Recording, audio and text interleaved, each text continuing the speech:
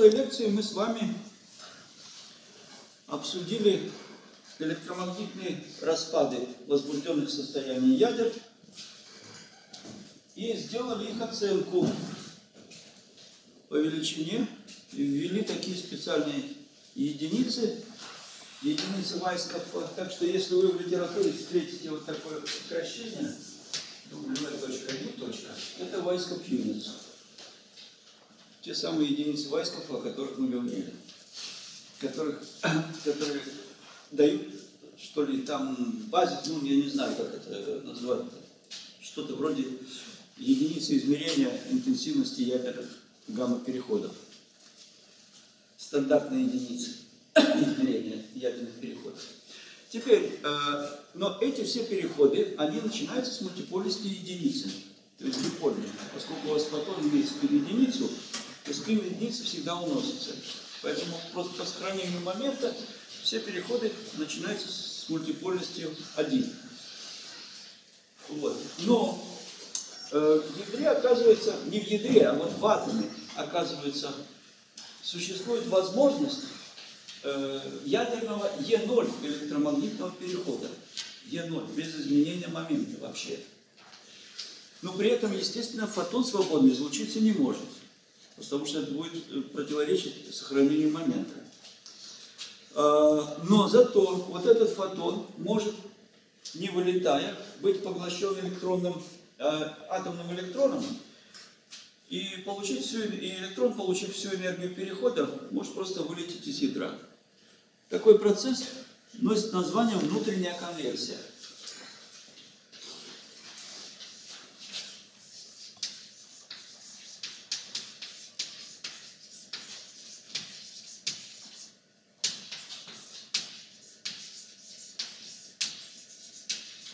То есть просто через, э, через кулоновское поле у вас этот переход, э, через кулоновское поле энергия перехода вся передается электрону.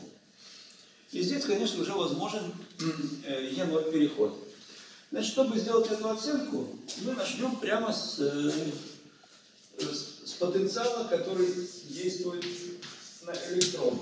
У от R, вот это оператор, он есть интеграл D3 R', а здесь стоит род зарядного ядра. Давайте будем писать русское. Z род зарядного ядра от R', который оператор по ядерным переменным является. Делить на R минус R'. Ну вот это кулоновское поле. Значит, вот это оператор по ядерным, э, по ядерным, значит, первый штрих это э, э, пробегает внутри ядра, и ро, вот это э, оператор заряда, оператор плотности заряда. Ну а поскольку R вот это координата электрона, то вот R будет оператором и еще и по, по, э, по, атомным, по атомному электрону. Теперь, Значит, если у вас есть переход из начального состояния в конечное ядерное, то вы должны взять отсюда матричный элемент по ядерным состояниям. Вот этот матричный элемент. Вот это дальше давайте мы этот матричный элемент сейчас запишем. Э, так, и здесь давайте уж мы тогда заряд электрона сюда напишем, чтобы чтобы это было полностью взаимодействие, а не потенциала. Значит, здесь заряд электрона стоит еще. Тогда это будет взаимодействие потенциальной энергии, а не просто потенциал вот это статический. Так, давайте мы перепишем это в таком виде, что это есть минус 4π e, а здесь стоит интеграл d3q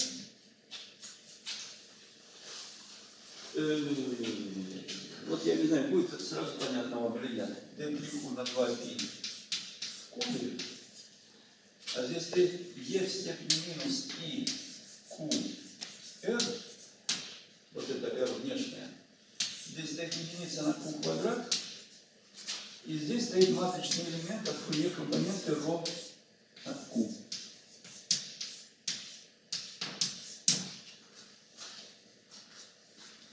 Это понятно, да? Здесь стоит сверт, свертка в координатном представлении.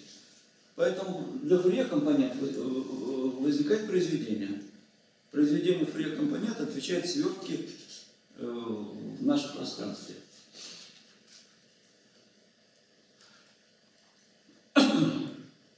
Но это можно представить следующим образом.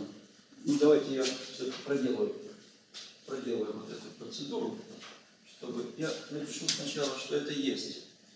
Е интеграл d3r, а здесь напишу э, штрих d3q на 2i в кубе.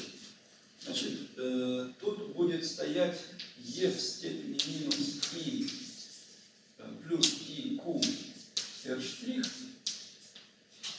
а здесь стоит f ро от q зарядами и делить на модуль R минус R штрих. Вот так. Ну и теперь, значит, смотрите, тут стоит R минус R штрих, давайте я сюда напишу минус R штрих, R и плюс э, и Q R тогда, тогда вот это вам и сдвину интегрированный по R' наверх. Так что вот здесь вот у вас будет просто R' и здесь будет R'. А тогда что у вас появляется фурье компонента от кулона, который есть минус 4π на q квадрат. Ну и тогда, значит, вот вы получаете вот этот ответ. Только тут знак, по-моему, тогда получается плюс.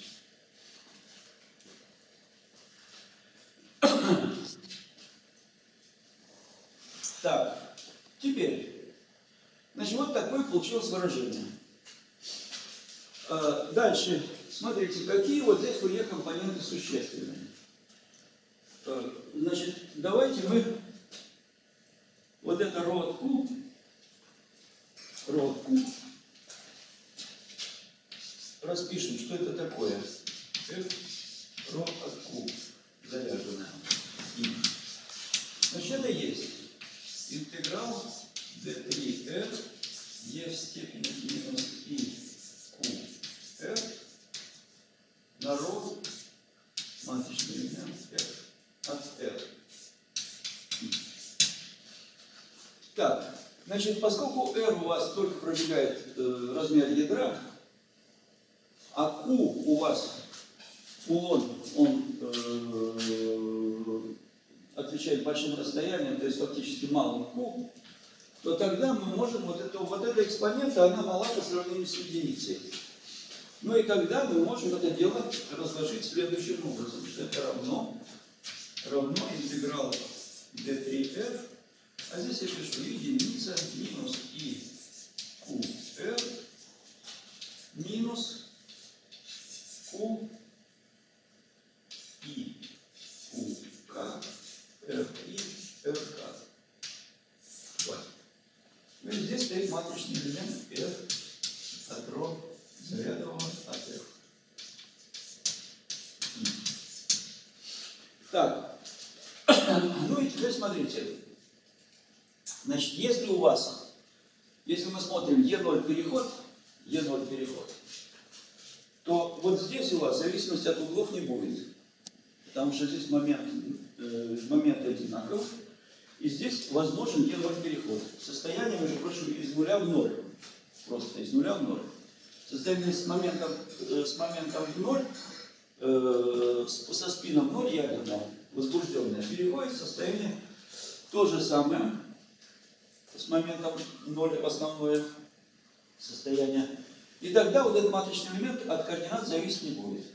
Ну тогда интеграл по углам вот это сократит, да, теперь, если у вас и, и, и, и f разные состояния, то у вас единица работать не будет. Единица работать не будет. А тогда у вас останется только э, так.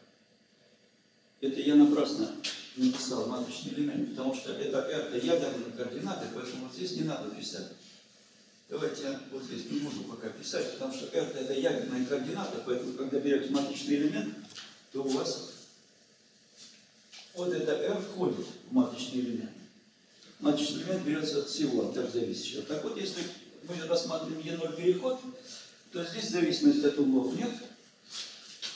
И здесь эта шина обращается в ноль, этот э, единица не дает силу диагональности вот этого момента. И тогда мы получаем, что у вас эта величина будет равна минус, так, тут я должен поставить пополам еще, второй порядок. Тогда это будет минус 1 треть q квадрат, а здесь дает интеграл d3r r квадрат ро зарядовая от r.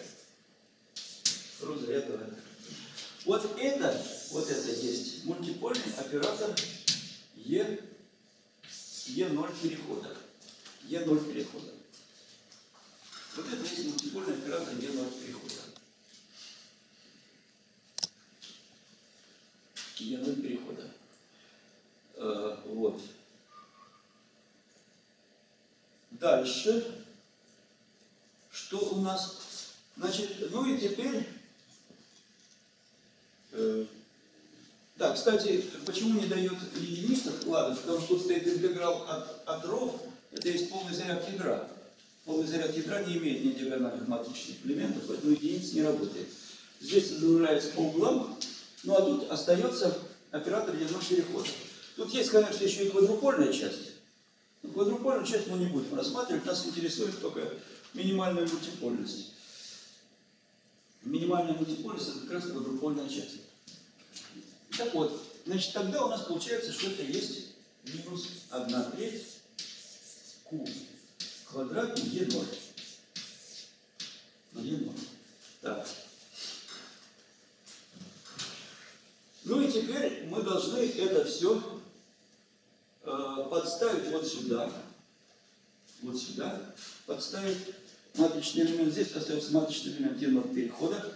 После того, как мы подставили сюда, q квадрат сокращается. Интеграл по q вам выдает просто дельта-функцию от r. Так что в результате вы получаете следующий ответ. Тут получается э, 4π на 3 только почему здесь я 3 написал, когда тут надо написать 6. 6. 6. Значит, там одна вторая есть. А, тогда тут будет 2 пи натрия. 2 пи натрия, заряд Е и э, дельта от R получилось, где координаты электрона, а здесь стоит матричный элемент, как раз вот это самое генового перехода. Вот от этого оператора. R квадрат ротер. R квадрат ротер. Ротер рядом. То есть фактически не диагональный матричный элемент от R квадрат, если переход одночастичный. Это просто не диагональный матричный элемент от R квадрат. Так, Э, значит, вот получился такой вот, такой вот оператор, действующий на электрон. Ну и тогда э, мы должны взять еще, теперь матрич, чтобы сосчитать полный матричный элемент, мы должны взять еще матричный элемент по состоянию электрона. Значит, давайте мы его будем в самом простом э, приближении считать. Да, значит, по порядку величины, вот эта величина, вот этот матричный элемент Е0, он, очевидно, будет порядка r квадрат ядерного. Вот это. Порядка r квадрат. Потому что не диагональная часть вот этой плотности, вот этот матричный элемент, не диагональной по плотности, это есть просто произведение, если переход одночастичный, произведение начальной волновой функции и конечной. Поэтому просто это будет такой же матричный элемент, который стоял в единицах войска, когда мы их оценивали. Поэтому там будет просто вот этот самый r квадрат Э, электрический, отвечающий э, лямбда равного нулю. То есть по порядку величины он будет просто r в кубе. Он будет r в кубе. Вот этот E0 оператор. Вот величина этого оператора. Матричного элемента, вернее. Матричного элемента. Так, ну и тогда, значит, матричный элемент по состоянию электрона да, э, U от R, мы должны конкретизировать вот эти состояния. Ну, начальное состояние понятно. Начальное состояние – это состояние электрона в атоме. Пси от R. Пси от R. Конечное состояние – это электрон вылетел. Значит, электрон вылетел. Давайте мы все-таки будем считать, что у нас энергия перехода достаточно большая. Так что взаимодействием кулоновским между электроном, который вылетел в непрерывном спектре, и ядром, мы будем пренебрегать. Вот тогда в качестве э, конечного состояния можно взять просто плоскую волну.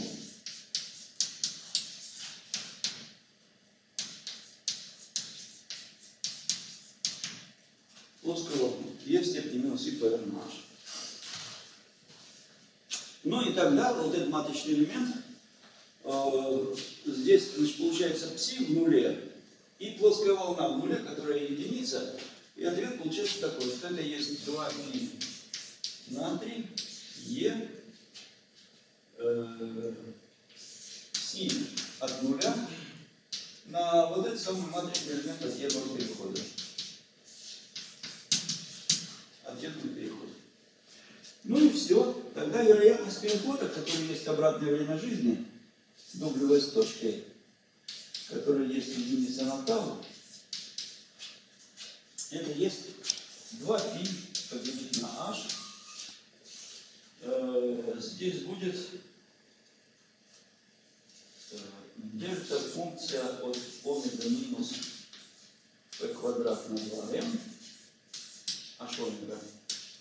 H омега минус p квадрат на 2m, где H омега это вероятность, э, частота перехода. Ну и тут стоит вот этот 4 и квадрат на 9, e квадрат пси от нуля по модулю в квадрате на квадрат модуля вот этого e0 перехода. f e0 и по модулю. Ну вот сразу видно отсюда, что коль скоро у вас здесь стоит пси от нуля, то конверсия идет в основном на э, электронных S-оболочки электронов с моментом э, L равно нулю. То есть для, э, для электронов К оболочки и электронов L оболочки только с, с, S из S состояния, то есть только S состояние учитывать. В принципе, возможны и более высокие переходы конверсионные, но тогда надо, тогда надо вот следующие члены разложения учитывать. И там уже появится малость некоторая. Вот эти, вот эти вот эти, вот эти процессы самые, самые интенсивные для изолновых электронов. Так, ну и дальше мы должны проинтегрировать по всем углам. Значит, я сразу напишу здесь э, вот так вот, э, э, напишу m масса электрона на p на d от p квадрат на 2m, e так, по углам сразу напишу 4 пи. Здесь ничего нет по углам. И тут 8 пи в кубе h в кубе. Так, кажется, я все h, все h написал, которые нужны. Ну и все, дальше, значит, ответ выписывается так, что это есть 8 пи на 9 масса электрона, заряд, импульс электрона на h четвертый на пси от нуля по в квадрате. Ну и на вот этот самый квадрат модуля научного элемента d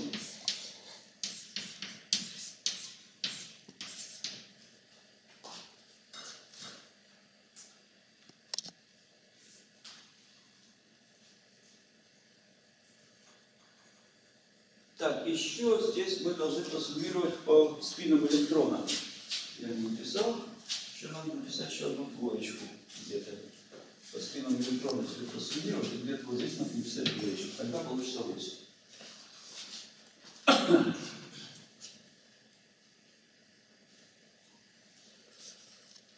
Так, ну и теперь что можно подставить?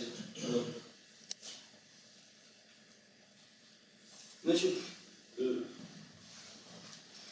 э, тут стоит все в нуле квадрате, можно еще упростить. Значит, что у нас такое? Если речь идет по ядре, значит, о, о электронах, значит, я тут энергии связи электронов пренебрег, считаю, что у нас энергии достаточно большие, то тогда все от нуля, все от нуля для электронов внутренних помножить в квадрате будет единица на π. А здесь э, я напишу так. Я напишу здесь z в кубе на а боровское в кубе. Потому что расстояния, на которых э, внутренние электроны у ядер с большим z, для ядер с большим z, внутренние электроны, у них боровский радиус, это есть а боровское делить на z. Соответственно, он в z раз ближе находится. Z в кубе. Так, тогда видно, что здесь что получается. Значит, вот тут стоит h квадрат на me квадрат. Э, me квадрат на h квадрат. Это, опять же, единица на а боровская. На а боровская. Поэтому получается, что эта величина такая. Эта величина будет примерно равна 8 π на 9. Здесь будет p. Так, здесь h квадрат я напишу, э, ставлю одно h квадрат. А, а тут, значит, будет z поделить на а боровской четвертой степени.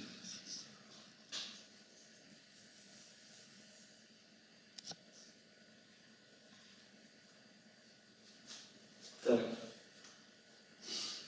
Ну и на вот этот самый матричный элемент Е0 перехода в квадрате.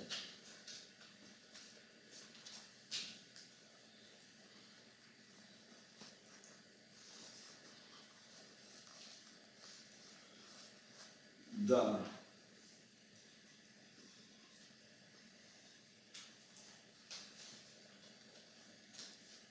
Так.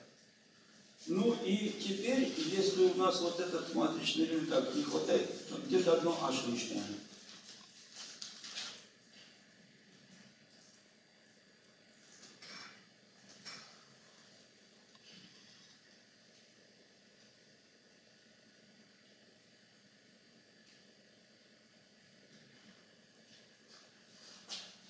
Где-то одно лишнее h. P на h это единица, это обратная длина, P наша обратная длина. Поэтому тут получается А в пятой степени. А куда? А в пятой степени. И здесь э, получается R в шестой степени. Поэтому получается что-то типа R, деленное на H по размерности. Хотя у нас должно быть, должно быть э, единица на тау. Э, э, единица на тау размерность, поэтому где-то у нас не хватает какой-то величины.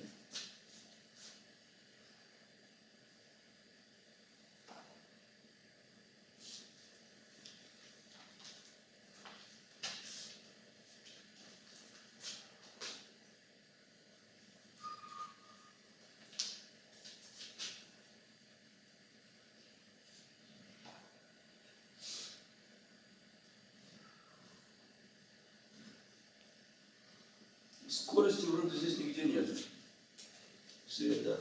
Скорости света здесь не должно нигде быть. Поэтому я что-то здесь не могу понять.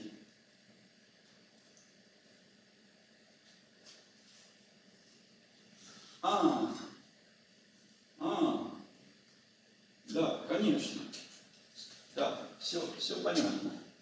Вот этот заряд электрона, но тут-то еще один заряд есть.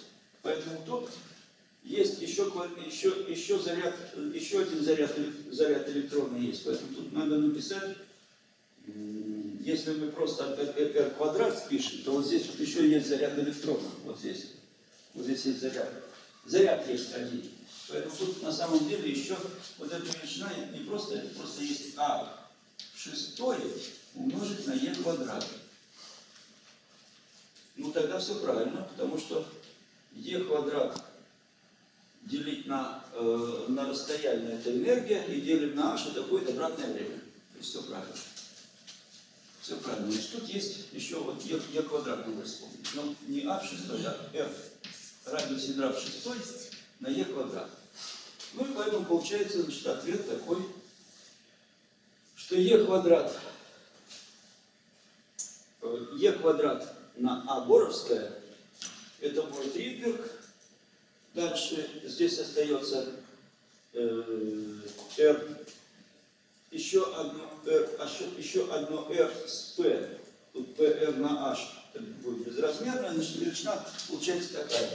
8 π на 9, это величина порядка тройки, p r на h, грубо говоря, Дальше тут стоит z в кубе.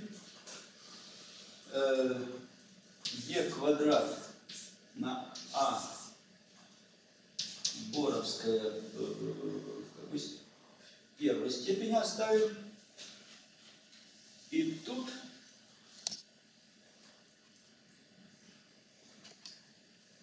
осталось э,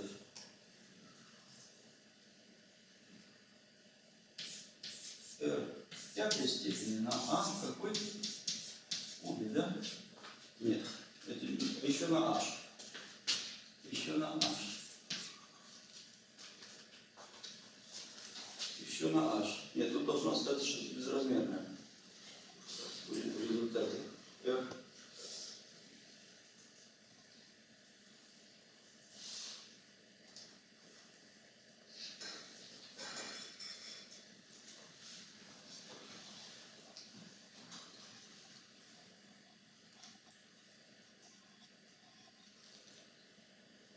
Е0 по модулю в квадрате.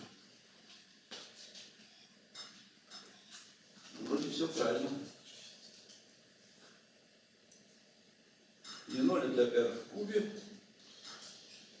Величина на e. Поэтому.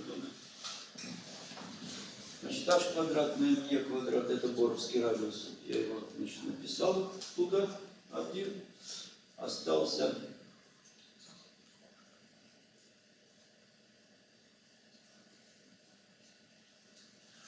Значит, лишний r квадрат получился у нас. Чего не должно быть.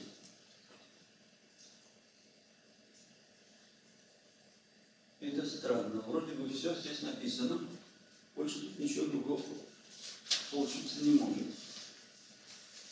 Ничего другого получиться не может.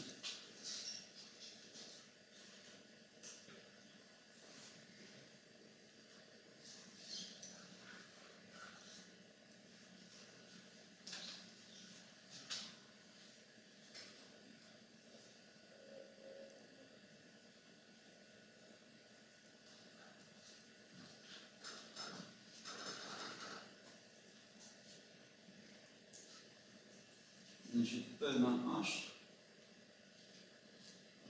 P на R. Странно. Странно.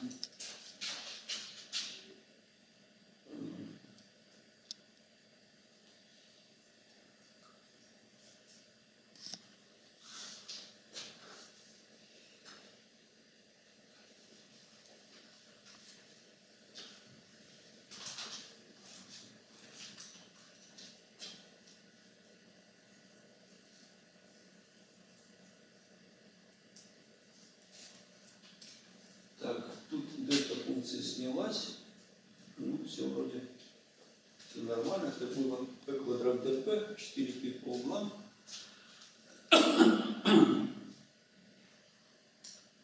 На 2 пи h в кубе.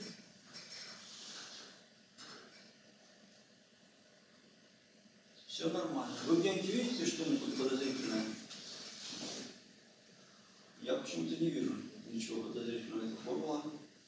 Во всяком случае, вот эта формула правильная. Вот эта формула правильная, а дальше где-то, может быть, на оценке я неправильно написал.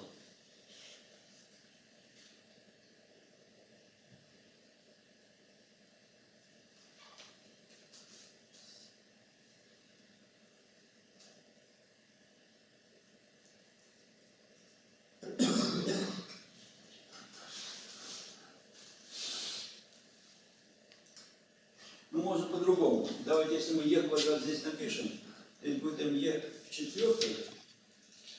Так, а здесь без e0 будет уже содержать только радиус.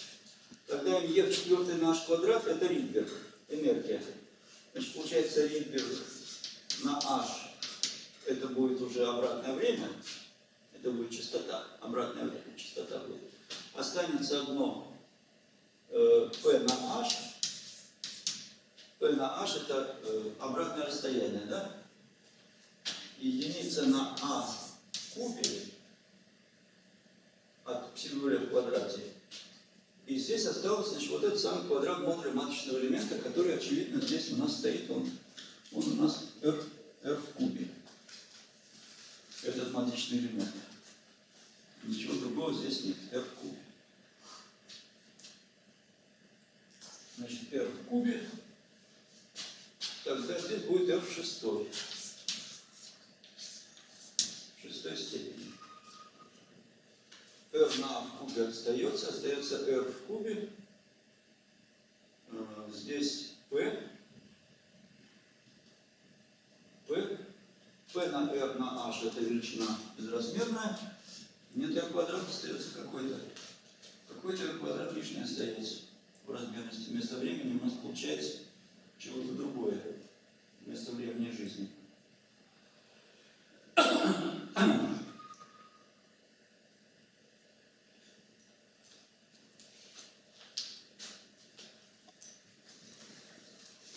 Там нормировка конечная волновая функция. Там нормировка конечная функция. Нормировка, ну я же пишу ДТП на 2 пи в кубе.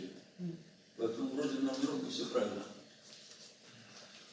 Можно еще тут написать единицу на В, В, тогда здесь В надо будет писать. Фаза наверное, поэтому не сократятся. Вроде на нормировке. На нормировке все правильно.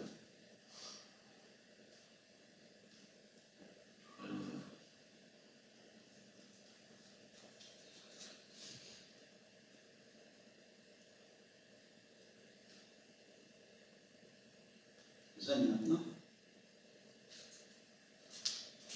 Вот эта формула, она, безусловно, верна. Ну и что тогда здесь? Ну здесь тоже, если вы берете здесь маточный элемент по состоянию, а, сейчас. Нет, все, все вроде правильно. Сейчас, минутку. Плотность есть единица на объем. Единица на объем. Поэтому D3R, единица на объем сокращается, поэтому это не R в кубе, а R в квадрате. Вот оно что. E0 у вас не R в кубе, а R в квадрате. R в квадрате. R в квадрате. Поэтому здесь стоит R в четвертой. Все, тогда все правильно. Нет, ну действительно.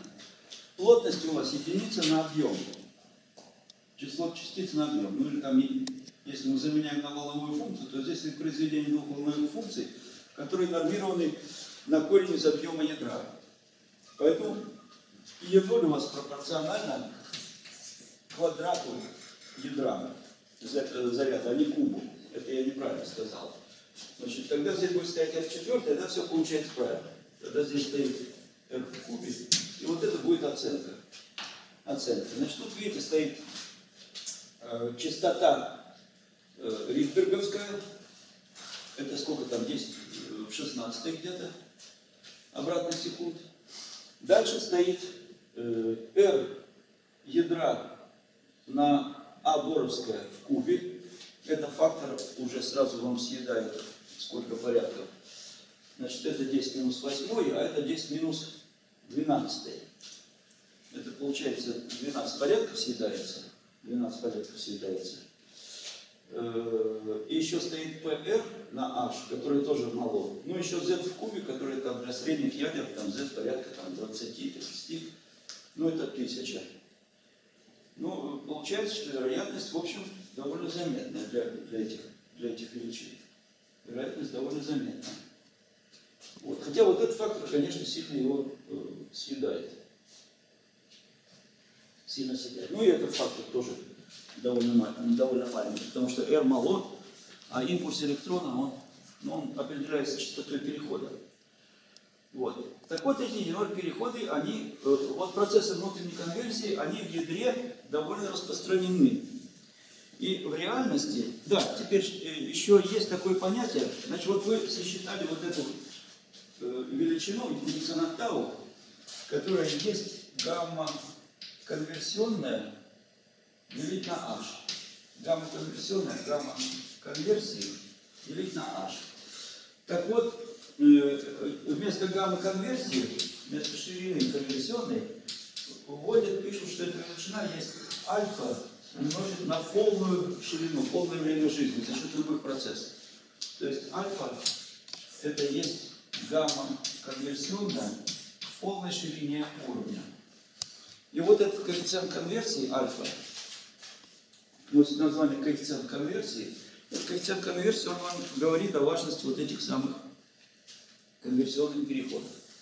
Ну так вот, оказывается, все ядра, которые живут там больше там 10 секунд, все возбужденные состояния, они все имеют коэффициент конверсии близкий к единице.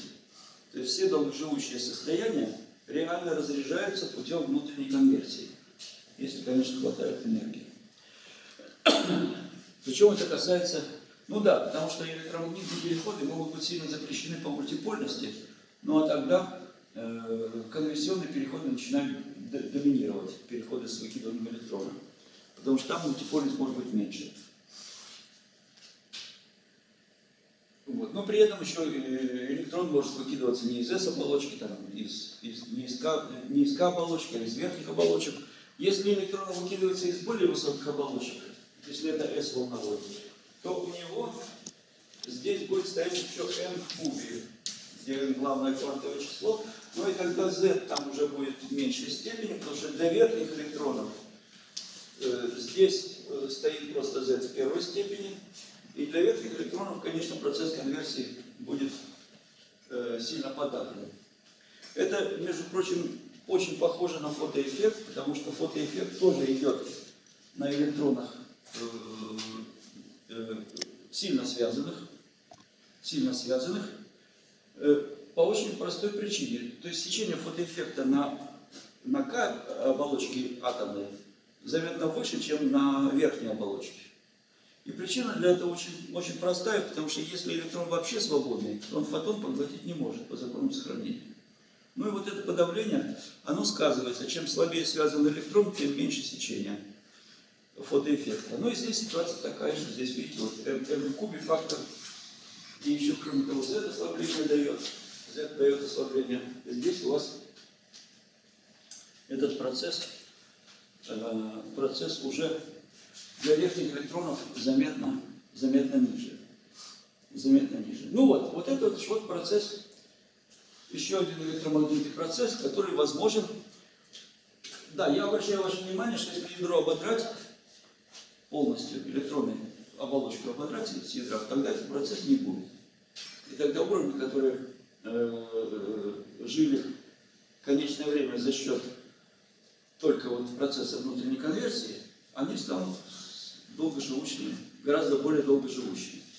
Потому что вероятность излучения э, реального фотона может быть сильно подавлена. Так, ну вот давайте сейчас сделаем перерыв, а потом перейдем уже к слабым процессам в ядрах. Так, значит, мы на этом обзор электромагнитных свойств ядра закончим и обсудим теперь слабые взаимодействия ядрах. Значит, слабые взаимодействия в ядрах, они ответственны за распад ядер.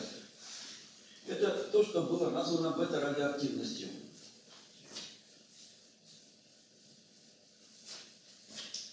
Значит, есть альфа-радиоактивность, есть бета-радиоактивность, есть гамма-радиоактивность. Значит, альфа мы обсуждать не будем. Альфа обсуждалась в курсах квантовой механики, проницаемость через барьер Кулоновский. Гамма излучение мы обсудили, теперь нам осталось обсудить бета радиоактивность. Значит, Бета-радиоактивность здесь включает в себя довольно много процессов. Значит, процессы, которые идут с участием слабого взаимодействия, они бывают такие. Значит, вот бета-процессы.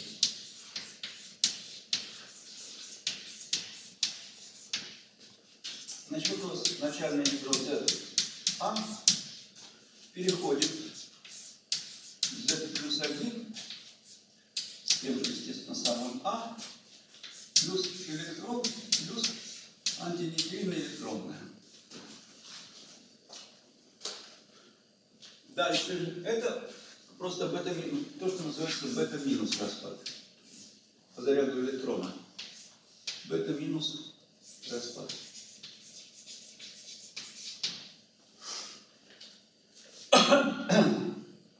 Фактически то, то, что простейшее, это распад нейтрона свободного. Когда нейтрон превращается в протон. То есть Z равно нулю. Дальше есть процесс, когда у вас, у вас Z не меняется, Z, вернее, Z меняется в обратную сторону. А плюс вылетает позитрон, плюс нейтрино электронная. Ну, это уже называется бета-плюс распад.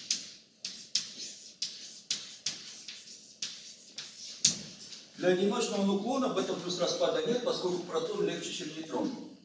Но в ядрах это вполне э, процесс возможный, он имеет место.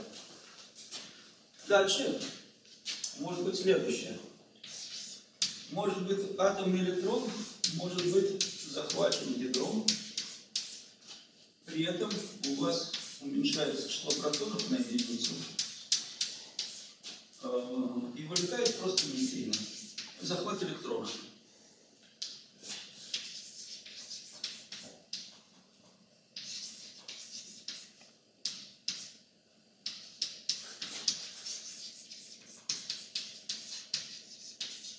Но обычно захватывается ближайший электрон с оболочки, поэтому часто такой процесс носит название К-захвата.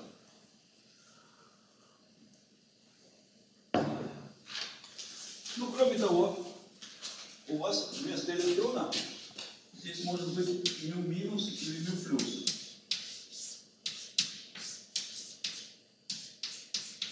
Который тоже приводит к тому, что у вас появляется Z, что-то минус плюс единица, а, ну и плюс либо нейтрино-мионная, либо антинейтрино-мионная.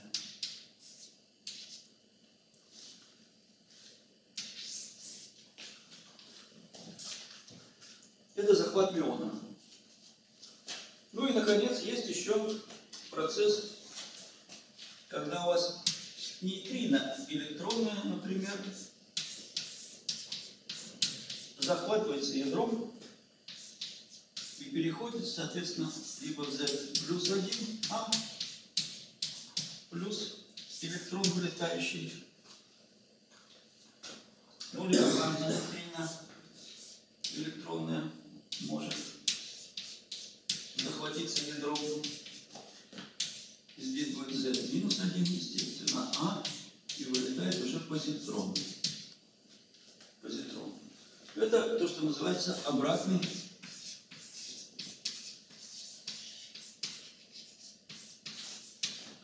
бета-распад.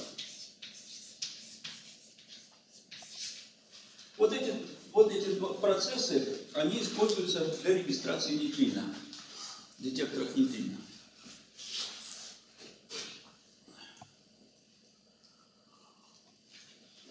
Так, надо Т поставить еще. Обратный, обратный бета-распад. Обратный бета-распад. Ну вот, в основной классификации вот этих процессов слабых, которые могут идти в ядрах. Но, как видите, они все приводят к изменению числа протонов или нейтронов, то есть происходит трансмутация ядер. Теперь, ну дальше надо писать гамильтониан. Значит, ну, ну вы, наверное, уже знаете сейчас, что у вас слабое взаимодействие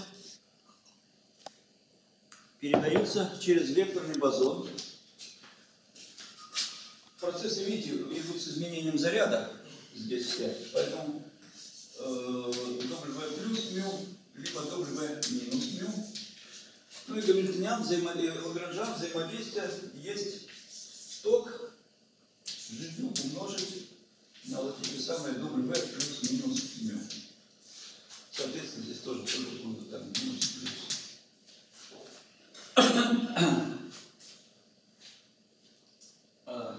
Но поскольку у вас W-бозон имеет массу в районе 80 ГЭФ, то процессы, в которых он появляется только в промежуточном состоянии, когда вот здесь, например, вот у вас, вот у вас был там, например, нейтron или нейтрон, он обменялся W-бозоном там, и здесь вот вылетел, скажем,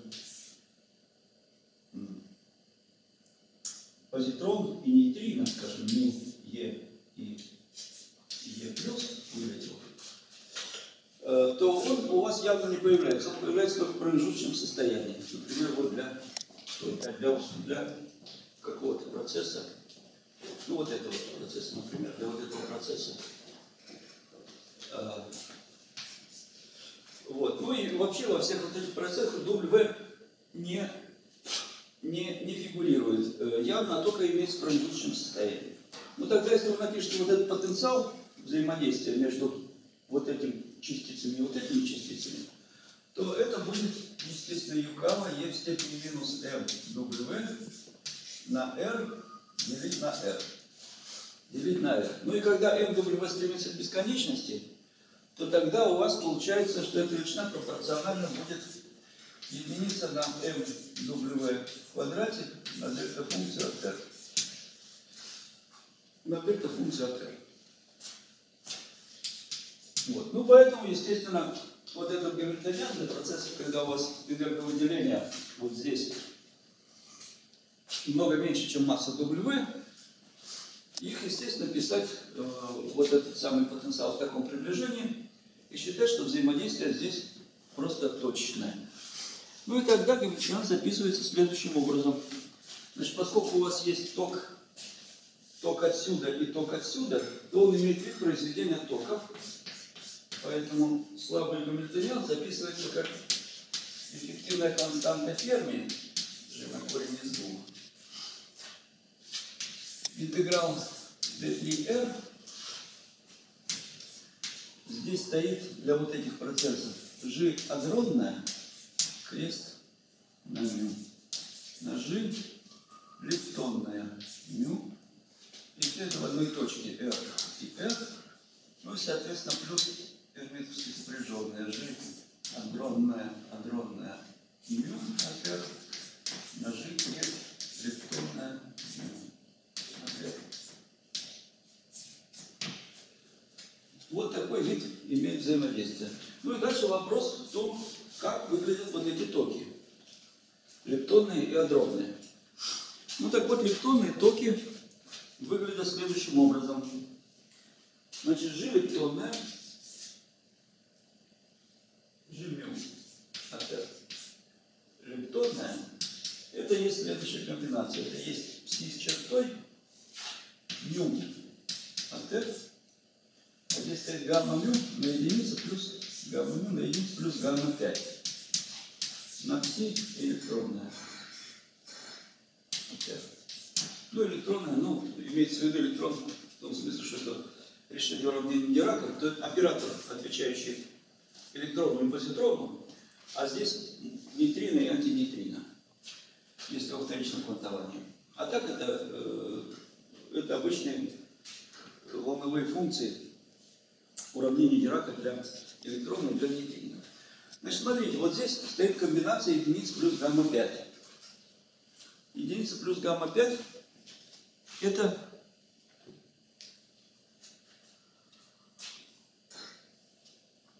это означает сразу, что э, гамма-5, матричный элемент от гамма-5, это псевдоскаляры.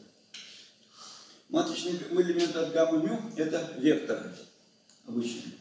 Ну, поэтому здесь получается вектор э, нормальный, а с гамма-5, гамма-мю, это вектор аксиальный. Они имеют противоположные четности. Это означает, что сразу ваш гамильтониан, записанный вот через токи, взятый в таком виде, четность не сохраняет. То, что он не сохраняет четность, это было экспериментально обнаружено. Ну, сейчас уже можно говорить давно, но это было 50-е годы.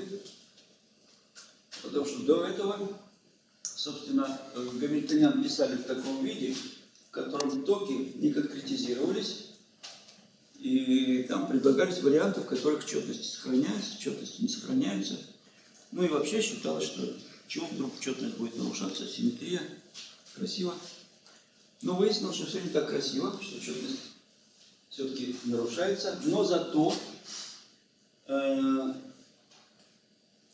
э, вот эта форма тогда фиксирована тем, что если у нейтрино массы нет, и нейтрино имеют только э, одну проекцию, одну спиральность, а анти, аспект нейтрино с другой спиральностью не существует, а существует только антинейтрино, то тогда вот этот фактор вам, конечно, как раз говорит о том, что участвует в процессах только нейтрино с определенной спиральностью. Так. Называется левое, когда вращение идет против часовой стрелки.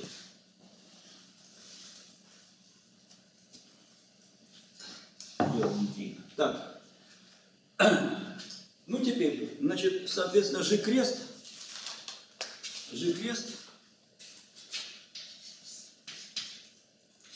Ну, мы должны написать, мы должны, значит, все переставить.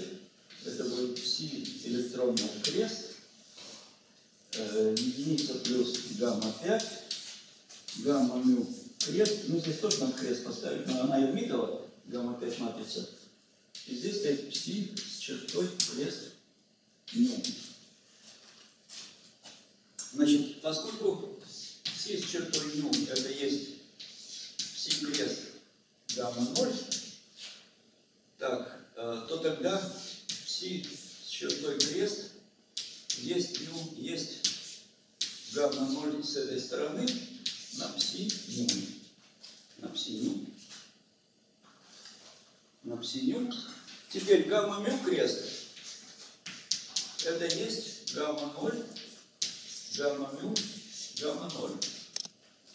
То есть гамма 0 орбитова, остальные антиорбитовые, пространственные. И здесь тоже гамма 5 орбитова.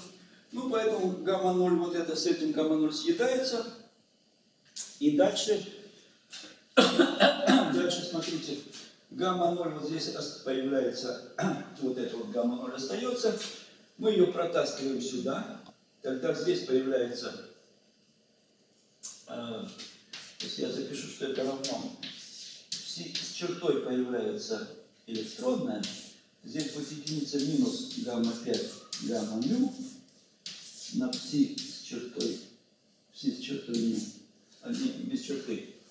Ну или если мы гамма мю снова туда поставим, то получится опять та же самая комбинация, пси с чертой электронная, гамма мю, на единица плюс гамма 5 пси мю.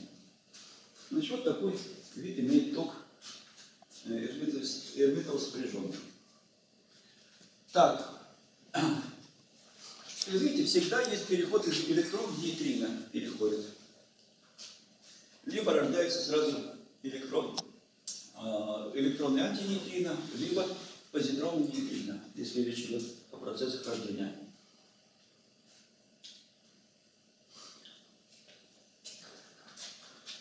Так, значит, теперь смотрите, что такое адронный ток?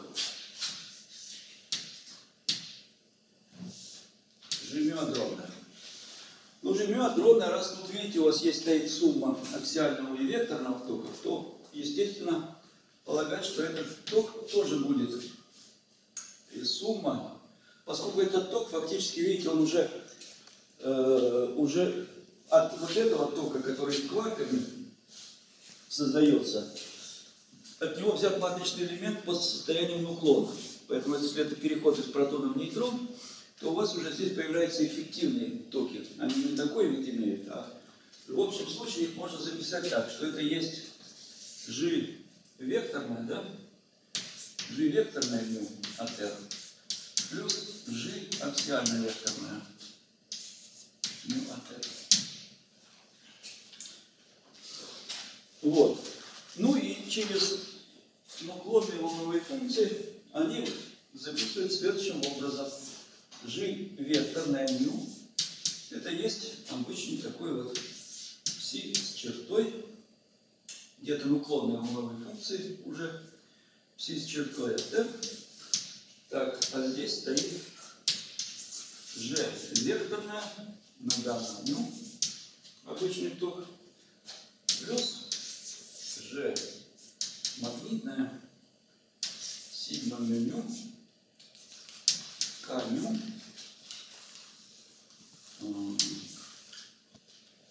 ну, ну, давайте уж привычно здесь букву Q писать. Куню на пси от R. Где Q это разность импульсов начального конечного состояния. Начального конечного состояния. Передаваемый импульс. Либо если там, ну да, в упорах это только такие процессы. Q только э, Q это разность импульсов.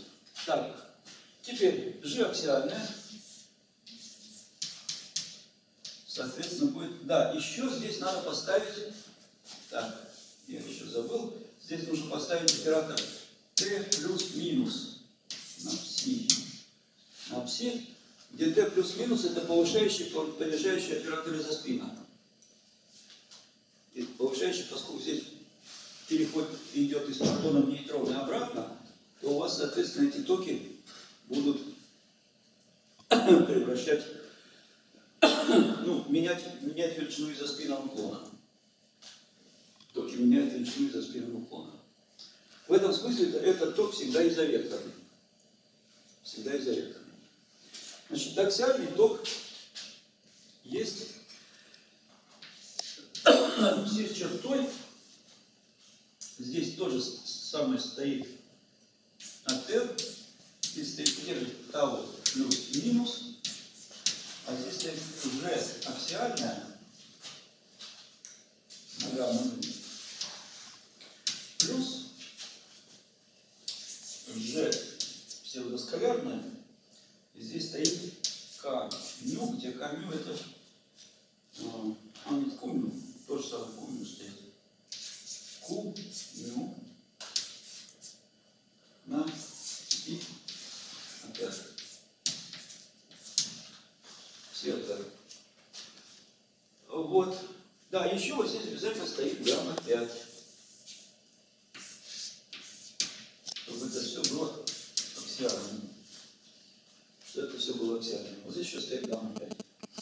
Значит, это два вектора, которые можно построить. И это величина аксиальная. Э, в случае вот этом вот в этом случае, из-за того, что у вас есть уравнение Дирака для свободных частиц, то гамма мю и, и q мю эквивалентны. То есть можно писать гамма мю, а можно писать q мю здесь просто. В случае аксиально у вас тут еще лишняя гамма 5 стоит, поэтому вот эти два члена становятся независимыми, они друг к другу не сводятся. То есть гамма мю гамма 5 и q мю гамма 5 друг к другу уже не сводятся. Поэтому это два разных, э, два разных Две разных величины. Две разных, два разных вектора. Так, теперь дальше. Существенным моментом является следующая гипотеза универсальности.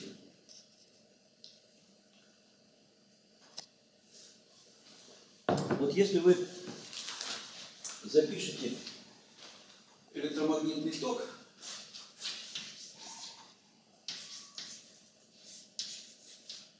углона, то он будет иметь вид такой, здесь будет стоять пси с чертой от r, а здесь будет стоять единица плюс, э, а то не так, одна вторая плюс t, t3.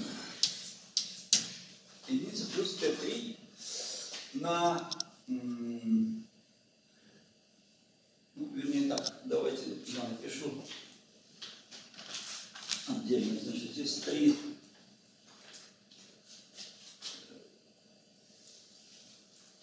я напишу вот так. 1 вторая плюс Т3 на гамма мю. Так, здесь стоит заряд электрона, заряд протона, гамма мю.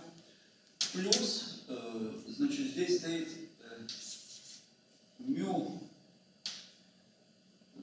мю протона аномальная на 1 вторая плюс Т3 плюс мю нейтрона на 1 вторая минус Т3. Так, все это, значит, еще все это умножается на э, сигма мю мю, сигма мю мю на все это. все это. Значит, вот смотрите. Значит, вот тут есть изоскалярная часть, с одной второй здесь, и вот сумма миопротонов плюс нейтронных пополам аномальных магнитных моментов. Ну, у нейтрона он весь аномальный. Вот. А есть третья компонента изотопического вектора. Третья компонента изотопического вектора, который стоит при Т3. Так вот, обратите внимание, было обращено внимание, что стоит третья компонента, а вот тут стоят компоненты плюс-минус. Ну и гипотеза об универсальности заключается в том, что вот эти компоненты и вот эта третья компонента, это есть единый изотопический вектор. Один изотопический вектор, векторный ток изотопический, универсальный, что в электромагнитном взаимодействии проявляется только третья компонента, а в слабых компонентах плюс-минус его. Ну и тогда из этой гипотезы универсальности сразу следует, что ЖВ есть единица, что стоит вот перед гамма а G магнитная, GM, это будет вот это самое э, мю аномальная протона минус мю нейтрона. Это величина где-то типа 4,7. Я правильно помню. Что-то типа 4,7, да? типа 4,7. 4,7.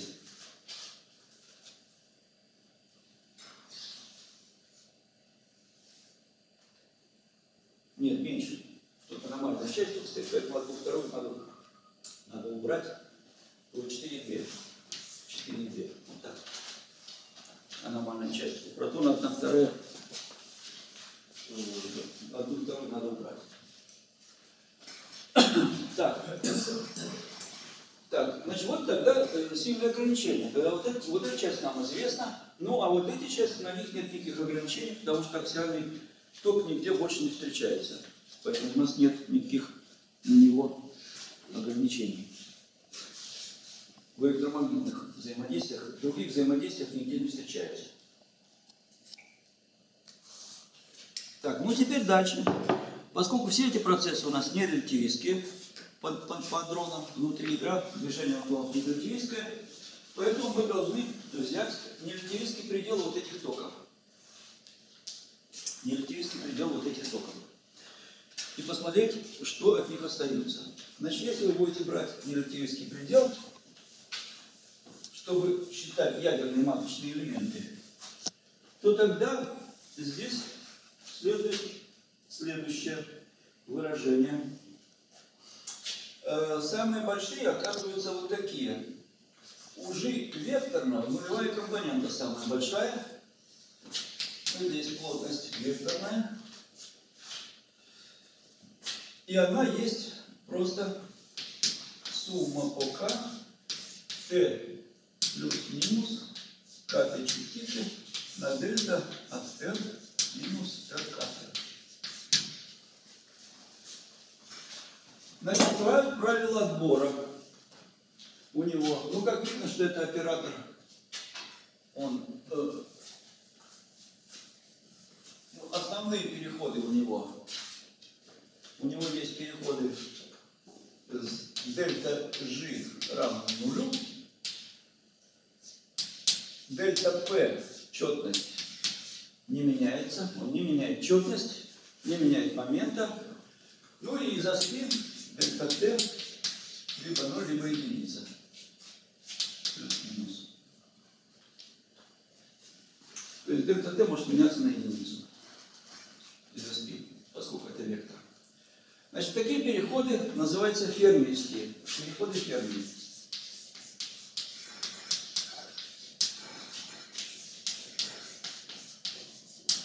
То есть это 0-0 переход в низшей, в низшей, в низшей мультипольности это 0-0 переход, и они самые, самые интенсивные. Дальше. Э, еще один большой переход возникает от пространственной компоненты аксиального тока. Потому что гамма-мю, гамма-5 пространственные компоненты это просто спин, сигма, матрица Паулера. Ну и тогда G аксиальная, вектор, это есть вот эта константа G аксиальная, здесь стоит сумма пока, F плюс-минус, катая, сигма матрица Пауля спиновая катая частицы на дельта от R минус РК. Здесь ниж, низшая мультипольность, у вас это вектор частицы, поэтому дельта G есть 0, 1, плюс-минус, естественно, плюс-минус 1. Ну, четность также не меняется, дельта P равна нулю. Ну и со спин также меняется дельта T равняется 0 плюс-минус 1. Значит, такие переходы носят название переходы гаммова Теллера. Гамма-теллеровские переходы. Переходы гамма-теллера. А, следующие члены, если вы будете брать нелитивистские приближения, следующий член будет содержать уже скорость. И линейные по скорости члены возникают и в векторной части, естественно, поскольку они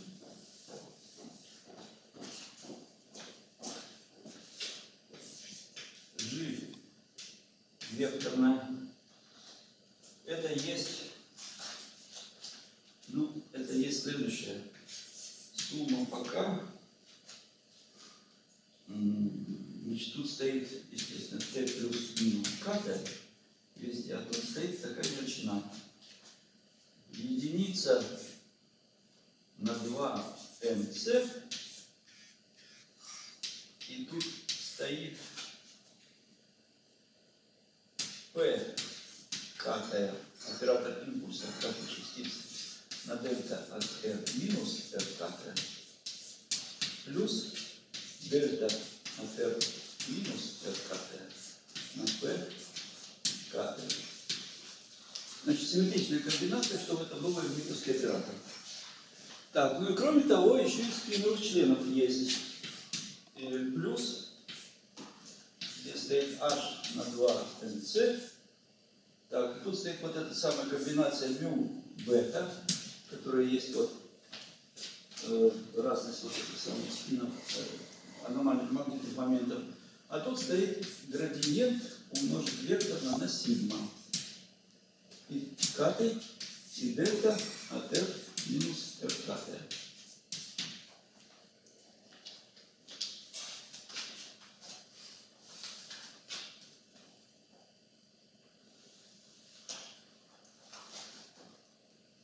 Так, ну вот это линейные члены по скорости. А в аксиальном случае у вас тут стоит следующее. У вас наоборот. В аксиальном случае нулевая компонента будет содержать линейные члены по скорости. Это будет ρ аксиальная, которая равно g аксиальная в основном. Э, а здесь стоит сумма полка на t плюс минус С, а тут возникает не P, а сигма умножить на P, такая псевдоскалярная комбинация, КТ, КТ, на дельта от R минус РК, плюс обратный симметричный, симметричная часть от него.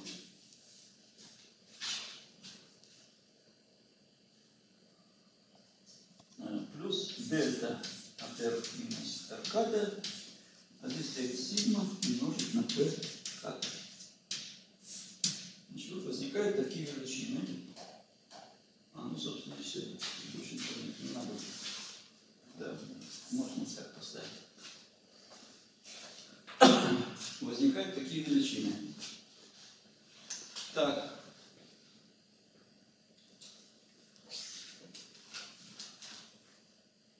Э,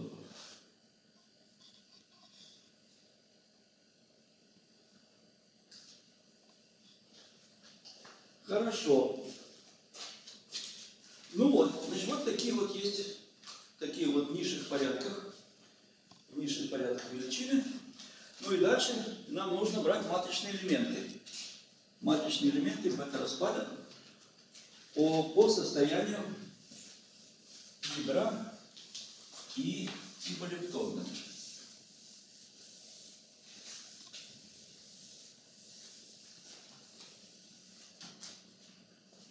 Значит, мы должны взять такой маточный элемент.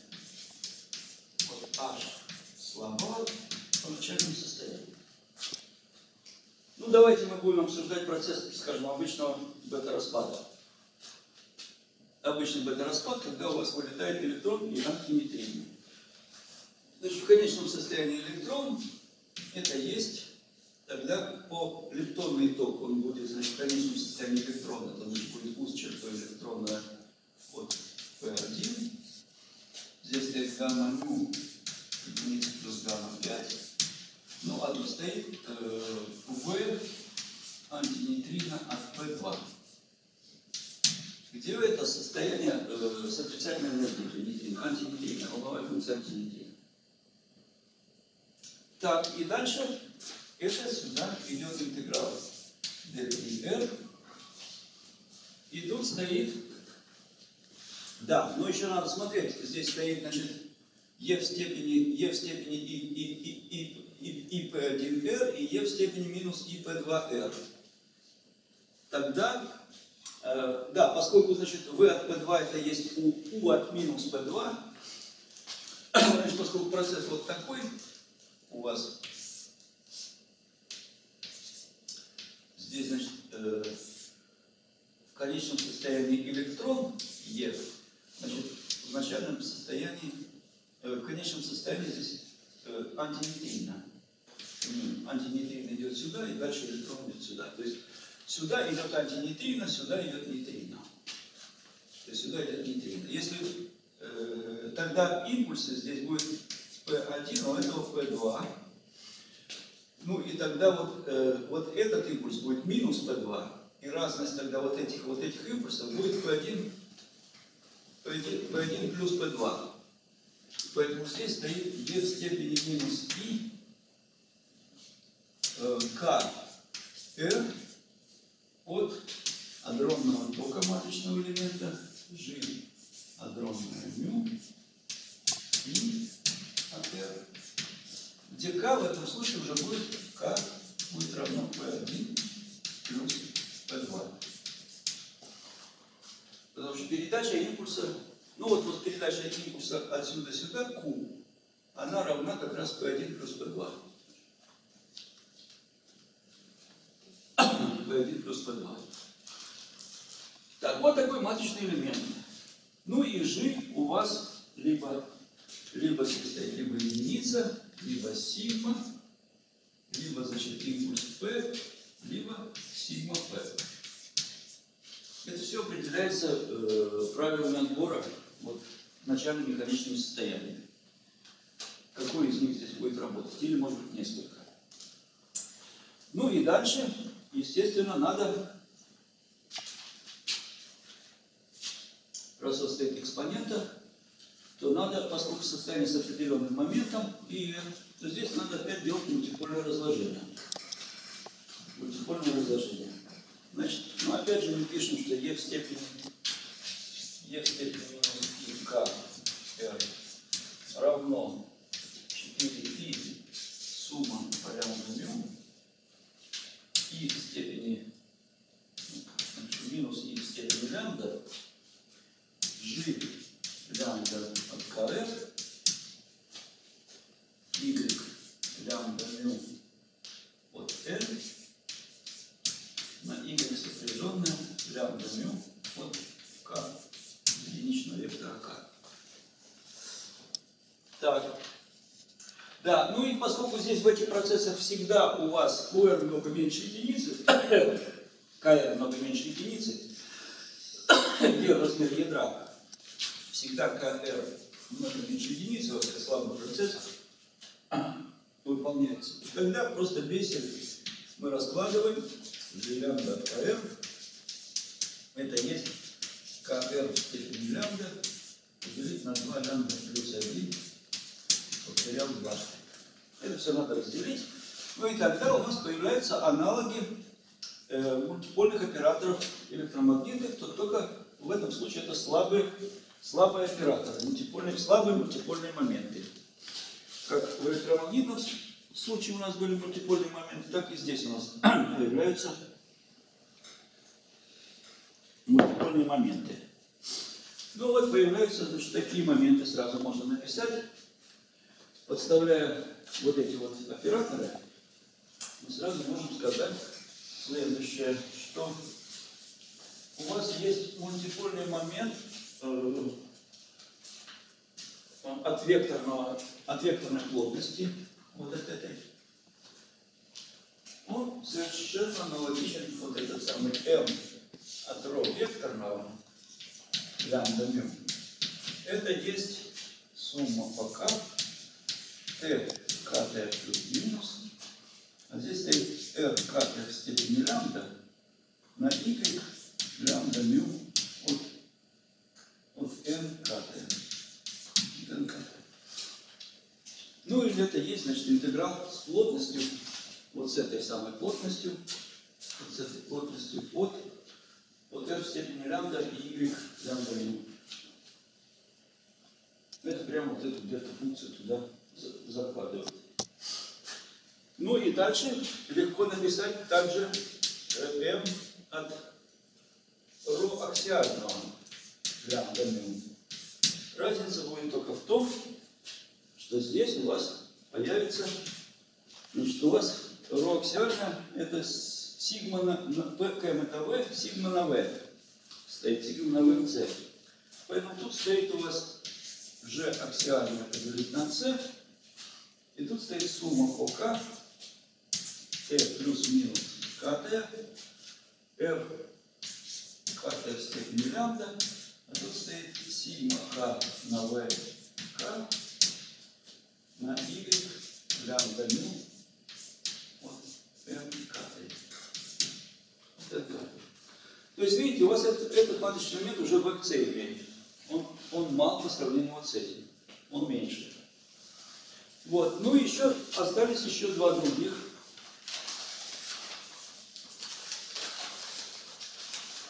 Еще два других, которые записываются аналогично. Записываются аналогично тем моментом.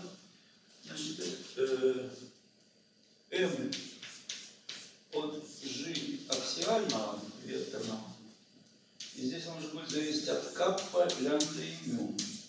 Поскольку сложение моментов будет иметь место. Это равно g аксиальная, здесь стоит сумма ОК, t плюс минус КТ, r в степени каппа, а здесь стоит такая вот комбинация.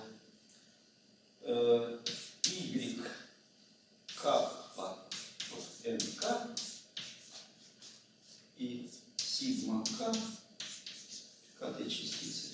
Сложная в момент лямбда То есть это просто значит, с коэффициентом Клепша, э, то есть эта комбинация равна сумма ОМ, э, клеш, мю, каппа, М, единица, э, единица, что тут поставить, единица э, мю, тут будет стоять y, каппа, m умножить на сигма мю.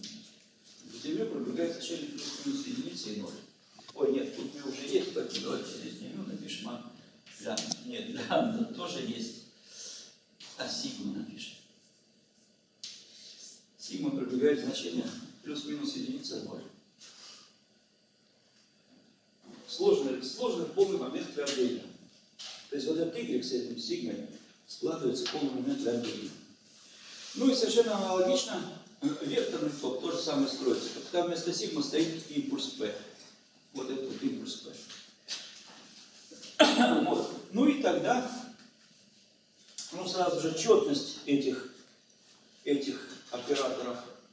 У этого оператора четность минус единица степени лямбда, естественно. У этого оператора четность минус единица в степени лямбда плюс 1, потому что еще v есть одно. У этого оператора тоже минус единица в степени каппа, потому что y каппа определяется. Ну и у того оператора будет минус единица в степени каппа плюс 1. Потому что тут еще вот это вот самое, еще, еще один импульс есть. Еще один импульс есть. Каппа плюс 1. То есть все четности опять же определены, поэтому маточные элементы, когда вы смотрите, какие из них будут работать, то, естественно, надо будет выбирать наи- наинизшие степени, возможные по правилам разбора. Ну и тогда просто можно классифицировать степень запрета. То есть вот эти переходы носят название разрешенных. Разрешенных. Они самые большие, самые интенсивные. Ну а дальше каждая степень скорости и каждая степень r вам носит малость. Поэтому степень запрета r это есть сумма, сумма, сумма степеней, степеней r и v. Сумма степеней r и v. Поэтому, скажем, вот, если здесь взять единица, то это будет переход первой степени запрета, единожды запрещенные переходы, дальше идут дважды запрещенные и так далее. Трижды запрещенные. То есть каждый, каждая вносит, каждая э, поправка лютейская вносит малость сюда. Так, ну вот, наверное, на этом мы сегодня закончим. Так, значит, мы, наверное, в четверг только в следующий будем лекцию. Завтра будет у вас э, не то Кравченко, не то Скорпин. Так, кажется,